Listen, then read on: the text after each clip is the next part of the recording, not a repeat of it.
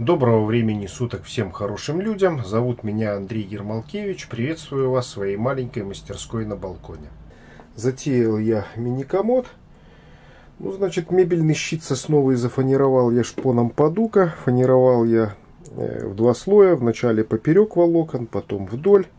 Наклеил кромку из Мирбау. Фанерку четвертую облицевал шпоном подука. Это будет задняя стенка. Вот десятая фанера. Тут наклеил кромочку из Мирбау. Ну, буду теперь всю эту музыку соединять. Соединять я буду вот на такие вот шипы домино. Ну, я думаю, вот трех шипов сюда вполне достаточно. На подуке карандаш не очень хорошо виден, поэтому наклеил я малярную ленту. Ну, использовал вот такую вот инкровскую линеечку, довольно точно. И за один прием можно все разметить. В принципе, можно пользоваться вот таким вот угольником, но его надо, получается, все время переставлять. Вот такая вот получается разметка.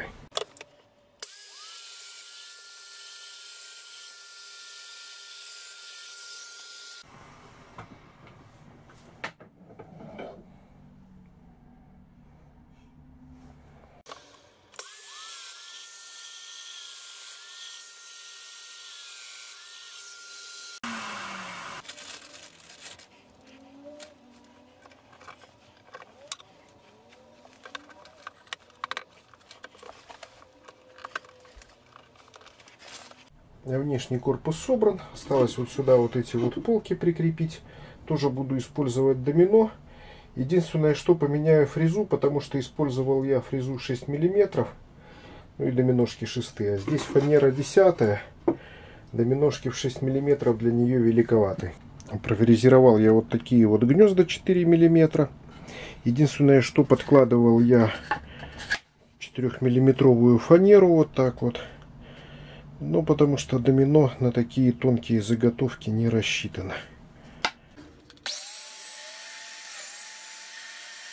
Собрал я на сухую, замерил вот эти вот расстояния, все в рамках приличия. Сейчас буду делать пазы шириной 5 миллиметров, чтобы вставить вот эту вот фанерку, как заднюю стеночку. Ну и вот эти вот уже полочки окончательно отпилю по ширине в размер.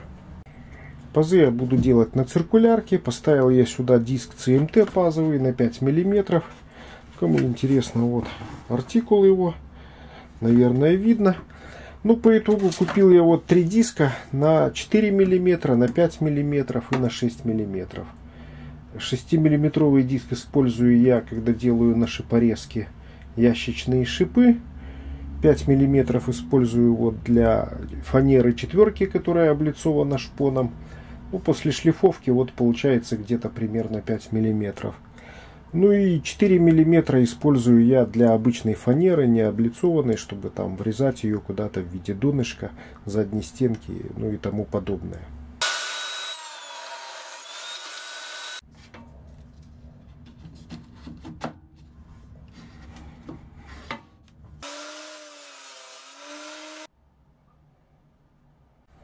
Склеил я корпус. Буду ждать, пока клей высохнет. Высох у меня клей. Ну и выровнял я при помощи рубанка вот эту вот плоскость и чуть-чуть наждачкой скруглил углы. Сделал я ящики на инкровской шипорезке. Делать на ней из узких заготовок ящики не очень удобно, поэтому сделал я вот такие вот широкие и потом уже после склейки распилю. Очень удобно на ней настраивать вот эту вот плотность шипа. Вот смотрите. То есть все плотно и в то же время очень легко разбирается. Потому что если сделать слишком уже тугое, то при склейке будут проблемы. Ну а сделать прослабленное, понятно, держаться будет плохо.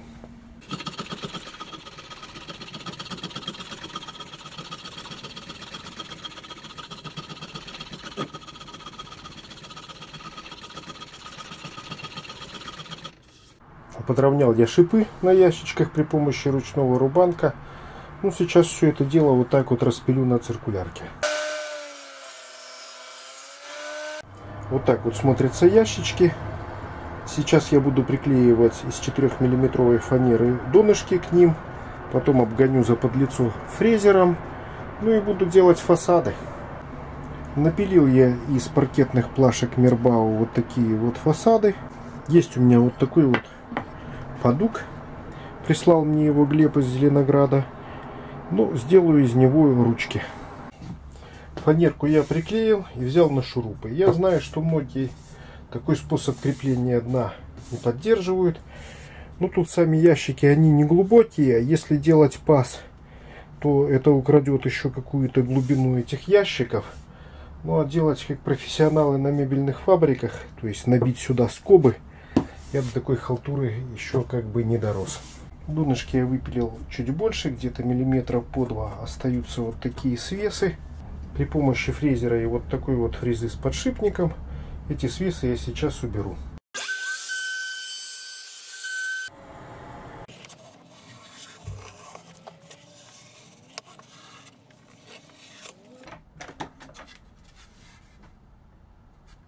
Приклеил я к донышкам ящиков полоски шпона. Получились импровизированные полозья. И как саночки будут они у меня на полозьях кататься. Оставалось у меня масло Видорон. Ну вот им и покрыл все ящики. Собрал я две рамки на доминошках. Сейчас вот эту вот приклею к крышке, а вот эту вот к дну. Приклеил я вот эти вот рамки, поджал струбцинками. Буду ждать, пока высохнет клей. Высох у меня клей. Что я сейчас буду делать? Вот здесь вот у меня в этих уголках радиусная фреза радиус не сняла, потому что мешал подшипник. Надо будет подрезать аккуратненько стамеской, ну и чуть-чуть подшлифовать. Ну, плюс по этим вот поверхностям пройдусь я циклей, а потом наждачной бумагой с зернистостью в 320. Шлифовать буду вначале вот эти вот части, потому что хочешь не хочешь залезу я вот сюда вот, а тут будут видны риски от наждачки а потом буду уже шлифовать вот эти вот части и вот эти вот риски, когда я вылезу при шлифовке вот этой заготовки, я уберу.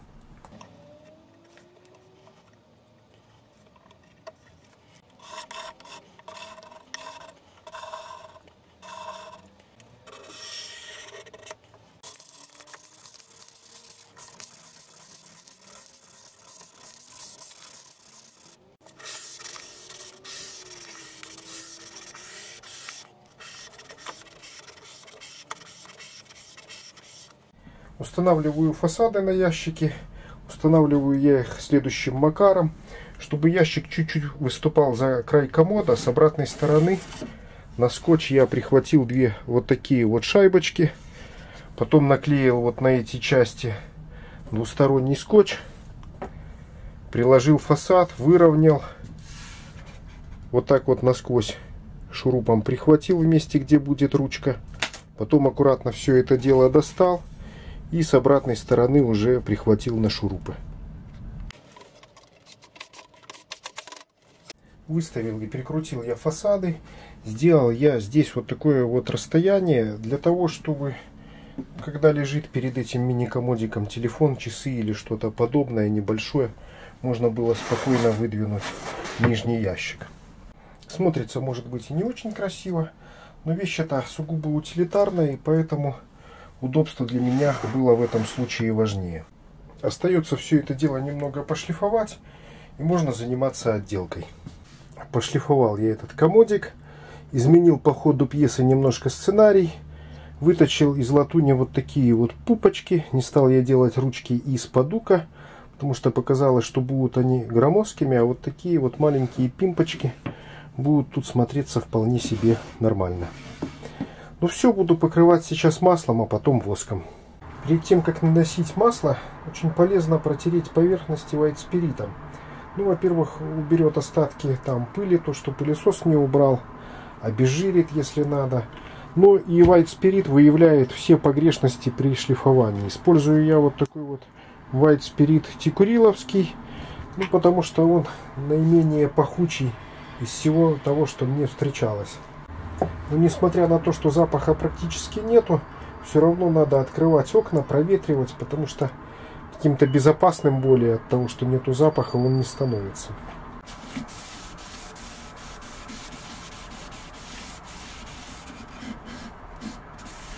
Ну вот и сейчас можно посмотреть, все ли было правильно сделано при шлифовке.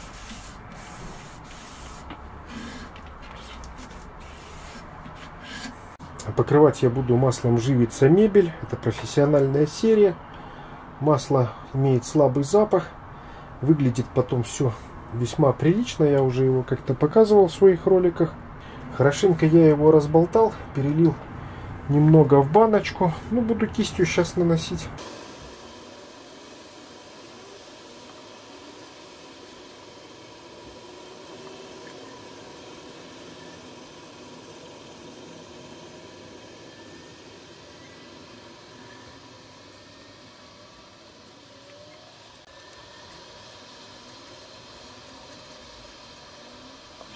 Температура сейчас у меня в районе 20 градусов, поэтому можно полчаса подождать и вытереть излишки масла. Прошло где-то полчаса, может чуть больше. Ну, теперь при помощи тряпки уберу излишки масла. Ну все, оставлю я сохнуть всю эту историю часов на 12, может быть даже чуть больше. Прошло где-то 16 часов, высох у меня первый слой. Ну, сейчас пошлифую я слегка вдоль волокон наждачной бумагой зернистостью 320 и буду наносить второй слой масла.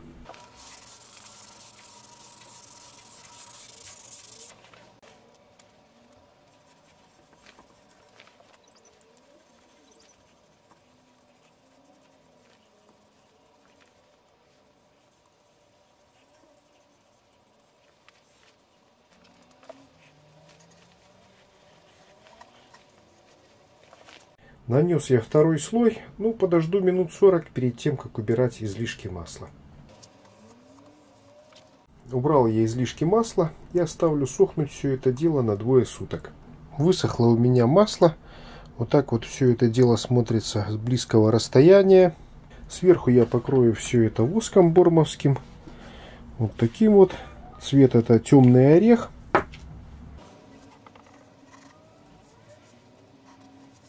Также воском я покрыл вот эти вот импровизированные полозья, ну и боковинки для лучшего скольжения. Подожду я где-то полчаса, чтобы воск подсох, и располирую все мягкой тряпочкой.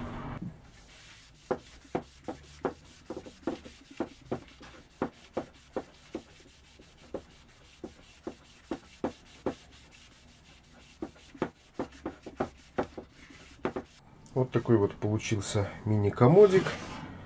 Вещь сугубо утилитарная. Набью я его разными шпульками, нитками, лапками и другими швейными причиндалами. На этом все. Кому ролик понравился, ставьте лайки. Не понравился, дизлайки. Спасибо за просмотр. До свидания.